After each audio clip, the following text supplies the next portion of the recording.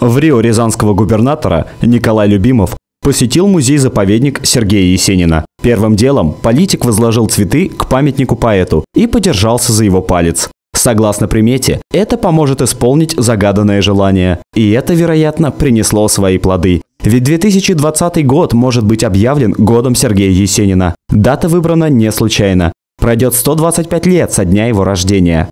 Хоть поэт и прославленный рязанец, мы решили узнать, какой отпечаток он оставил в сердцах наших горожан. Вы знаете, кто такой Сергей Есенин? Конечно. Кто это?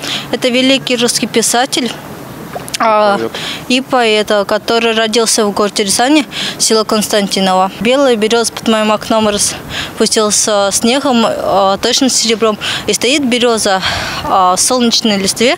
Конечно, поэт Рязанский, замечательный поэт. Клен ты мой опавший, клен заледенелый. Что стоишь, качаясь, под метелью белое. Это великий русский поэт, уроженец села Константинова, Рыбинского района Рязанской области. «Разбуди меня завтра рано, у моя терпеливая мать. Я пойду над дорожным курганом, золотого гостя встречать. Я сегодня увидел в пуще след широких колес на лугу. Треплет ветер за облачной кущей, золотую его дугу. Великий русский поэт Серебряного века. Клен ты мой опавший, клен заледенелый.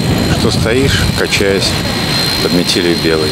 Да, конечно, это наш поэт. Русский поэт, рязанец. Не зову, не плачу. Все пройдет, как с белых яблонь дым, увидание золотом охваченным, я не буду больше молодым. Поэт. Русский поэт. Да. Ну как, великий российский, ну, русский поэт. Ну, наш земляк, он русский поэт считается. Письмо к женщине, Есенин. То есть вы помните, вы все, конечно, помните, как я стоял, приблизившись к стене. Взволнованно ходили вы по комнате и что-то резкое в лицо бросали мне. Кто? Русский наш рязанский поэт. Поэт наш великий. Дай, Джим, на счастье лапу мне. Такую лапу не видал я сроду. Давай с тобой полаем при луне на тихую и бесшумную погоду.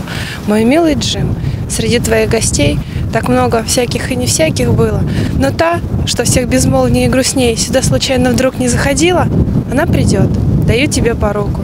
Из-за нее, за меня в нее ставить взгляд, ты за меня лизни ей нежно руку. За все, в чем был и не был виноват.